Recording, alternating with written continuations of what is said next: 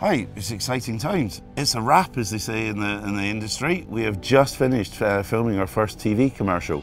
We've got a great product. We've got some amazing um, feedback from our guests where we're scoring 9 out of 10 in our uh, cuisine, our crew friendliness, and our entertainment. We decided it was time to bring our brand and our proposition to the wider world. We're about authenticity. We're a traditional cruise line. Um, and what we wanted to showcase was that friendliness, the amazing entertainment, that outstanding cuisine that we have. We have filmed the advert with our crew, our entertainment team, and believe it or not, our own guests. We had over 350 guests that wanted to be part of our, our commercial.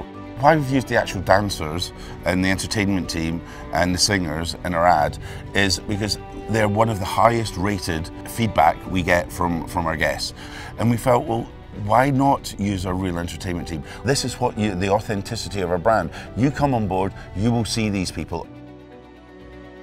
The song has been actually around for about um, six, seven months before. Um, we were looking for a song that was authentic and again played to our demographic. Enjoy yourself. We're the ones to choose. If I have to think back and say what is the most challenging scene we've had, I think it was definitely the, the end scene on the top deck. We had our whole dance crew, which was the best part of six or seven people. We had 350 guests who aren't trained actors, but who just wanted to be in it and wanted to be a part of it.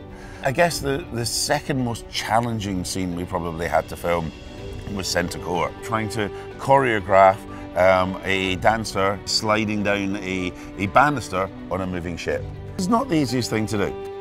Then our, our, second scene was in the Botanical. That was slightly easier, I think, if I'm honest, to film, because we were able to close off a small area of the bar. But the challenge here with the Botanical was trying to make sure the dancers and the waiters and the light that was coming from the bar behind was actually still choreographed um, well enough and shot well enough that actually we weren't getting the, the reflection in. So the challenge we found, and you'll see, it's got a huge glass mirror.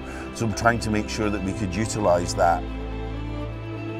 This was probably our easiest shoot because it involved just the talent we had on board. Although in saying that, it was probably one of the most challenging themselves for the entertainment team because there was a significant number of moves that needed to be choreographed and actually Shannon at the end had to be held up by two of the male dancers to be able to move on to the next scene. My favourite scene without a shadow of doubt was in my favourite bar, is the observatory. The observatory bar was used for um, our shot of the evening dance and show, showcasing what happens at night on board. And what the, the entertainment team had on there, they had on um, stunning white dresses, which, were, which are actually made from recycled plastic from the ocean. And that is something that the entertainment team um, have created and sewn and stitched together.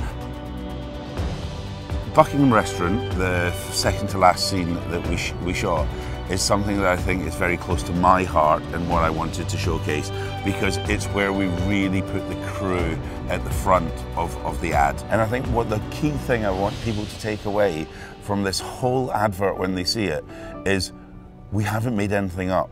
What you see is what you get. We are true, we're authentic, and we're delivering on our promise. So what you see on this ad is what you can experience on board Ambassador.